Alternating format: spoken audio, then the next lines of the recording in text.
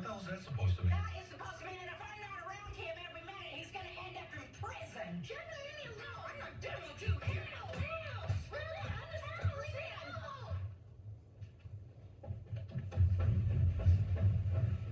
Honey, Run along.